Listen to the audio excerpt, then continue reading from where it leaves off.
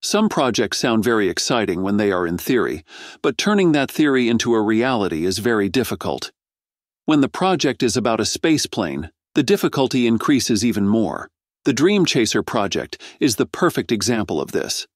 This spaceplane has been anticipated by space fans for years, and every time they decide to launch it, a problem appears, making it frustrating to witness.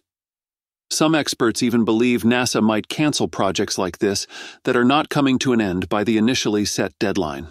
Today, we are going to talk about this in detail. Before we delve any deeper, please make sure to subscribe to our channel for future updates about the latest developments in the industry. The Dream Chaser spaceplane, developed by Sierra Nevada Corporation, is designed to transport cargo to the International Space Station. It was part of NASA's Commercial Resupply Services program, which also included SpaceX's Dragon spacecraft. NASA gave contracts to both SpaceX and Sierra Nevada in 2016, aiming to support International Space Station operations. But when we look at today's situation, the two spacecraft are not even close when it comes to their success. SpaceX has done an amazing job with its Dragon spacecraft. It has successfully completed many missions, consistently delivering cargo and bringing back scientific samples. On the other hand, the Dream Chaser has faced several delays and hasn't flown yet. The biggest issue they encountered is the unique design of the spacecraft. Unlike traditional rockets, the Dream Chaser resembles a plane. This airplane like design is difficult for several reasons. Firstly, the aerodynamic shape that allows it to glide and land on conventional runways requires extensive testing and precise engineering. Achieving a balance between being lightweight for launch and durable enough for re entry poses significant challenges. Secondly, the thermal protection system, which is crucial for surviving the intense heat of re entry, had to be specially designed for the Dream Chaser's shape. This involved additional testing and iterations to ensure it could withstand the extreme conditions. Another major problem is the choice of rocket. The Dream Chaser was supposed to launch on United Launch Alliance's Atlas V rocket. However, this decision has caused problems. The Atlas V is not as cost effective or frequently launched. United Launch Alliance has a solid record of successful launches, but it can't compete with SpaceX. Atlas V is more expensive to launch compared to SpaceX's Falcon 9, which benefits from being reusable. Moreover, Boeing's Starliner has also faced numerous delays due to issues with the Atlas V rocket. For example, just a couple of weeks ago, the Starliner was finally ready for launch after multiple delays. The astronauts had boarded, and everything seemed set for a successful mission. However, a problem with the rocket led to another delay. The problem during this incident was related to the rocket's propulsion system. Just before launch, engineers detected an issue with the valves in the propulsion system, which were not opening correctly. This posed a serious risk, leading to the decision to scrub the launch. To minimize these kinds of challenges, Dream Chaser should switch to SpaceX's Falcon 9, or Falcon Heavy could be a smart move. SpaceX's rockets have shown high reliability and a successful track record. The Falcon 9 was first launched in June 2010, and since then it has completed over 100 successful missions, making it one of the most reliable rockets in the world. The Falcon 9's reusability is a game changer, significantly lowering launch costs by allowing the same rocket to be used multiple times. SpaceX's Falcon Heavy, which had its first launch in February 2018, has also demonstrated impressive capabilities. The Falcon Heavy is currently the most powerful operational rocket in the world, capable of lifting more than twice the payload of its closest competitor. To date, the Falcon Heavy has completed several successful launches, including high profile missions such as the launch of the Tesla Roadster into space. Space companies come up with innovative ideas for spacecraft, and then they pitch these ideas to NASA. If NASA sees potential in the project, they invest in it to help bring the concept to life. For example, NASA has invested in several notable projects over the years. They backed SpaceX's Dragon capsule with around $396 million to develop a spacecraft for cargo and crew transport. Blue Origin received about $500 million to develop their New Shepard and New Glenn rockets.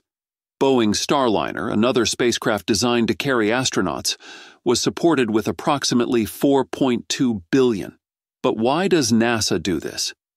By investing in multiple companies, NASA ensures that there are several viable options for getting cargo and crew to the International Space Station and beyond. This not only drives technological advancements, but also helps to keep costs down. In the past, NASA used to handle all of these missions themselves. They developed and operated the Space Shuttle program, which was a fleet of reusable spaceplanes that carried astronauts and cargo to and from the International Space Station. The Space Shuttle program was incredibly successful, but also very expensive and complex to maintain. After the Space Shuttle retired in 2011, NASA needed new ways to continue their missions. Instead of building a new spaceplane from scratch, NASA decided to partner with private companies. This approach allows NASA to leverage the creativity and efficiency of the private sector while focusing on projects like the Artemis program, which aims to return humans to the moon and eventually send astronauts to Mars. Out of all the projects that NASA is funding, Dream Chaser stands out as the most unique. After years of preparation, the Dream Chaser is finally ready to show us what it can do. More than six months ago, in late October and early November of 2023, Sierra Space announced they had completed the first Dream Chaser prototype, Tenacity. At that time, they revealed that Dream Chaser would undergo several months of testing at NASA's Neil Armstrong Test Facility. After completing these tests, the spaceplane would move to Florida to get ready for its first launch. After many months of rigorous testing, on May 20th, NASA officially announced on its website that the Dream Chaser had arrived at NASA's Kennedy Space Center in Florida. This milestone was part of NASA's broader efforts to expand commercial resupply capabilities in low Earth orbit. The Dream Chaser spaceplane, aptly named Tenacity, arrived at Kennedy on May 18th. It was transported in a climate controlled container from NASA's Neil Armstrong Test Facility in Sandusky, Ohio. It's worth noting that Sandusky, Ohio, is also famous for its roller coasters at Cedar Point, which might be fun but has nothing to do with space travel. Upon arrival at the launch complex, Dream Chaser joined its companion, the Shooting Star cargo module, which had arrived on May 11th. This step was crucial as it marked the final preparations before the spaceplane's launch.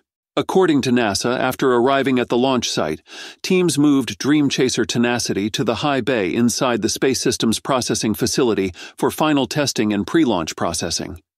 Regarding pre launch testing and processing, Dream Chaser will undergo a series of additional tests, such as acoustic and electromagnetic interference compatibility testing. The team will also complete work on the spaceplane's thermal protection system and finalize payload integration. Dream Chaser has already gone through many rigorous tests during its more than six months at NASA's test facility. The spaceplane and the cargo module underwent vibration testing using the world's most powerful spacecraft shaker system at NASA's Space Environments Complex. Following this, Dream Chaser underwent over five weeks of thermal testing at NASA's In Space Propulsion Facility.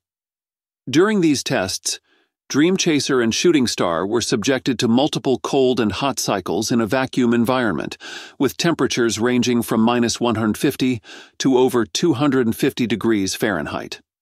This allowed Sierra Space to conduct functional tests at these extreme temperatures to verify system performance. One critical system that underwent thorough testing was the spaceplane's forward RCS thruster. This component, located at the front of the spaceplane and covered by the Thermal Protection System carrier plate, is crucial for Dream Chaser's docking with the space station. It will also endure the highest temperatures during re-entry. The tests were completed without issues, indicating that the system performed well and is ready for the demands of space missions. Now, let's talk about the launch schedule. According to NASA, the launch is set for later this year. Dream Chaser will be launched by ULA's Vulcan rocket from Cape Canaveral Space Force Station. And that's all for today's update. If you enjoyed watching and found it useful, please make sure to subscribe to our channel and hit the like button. Thanks for watching, and I'll see you in the next one.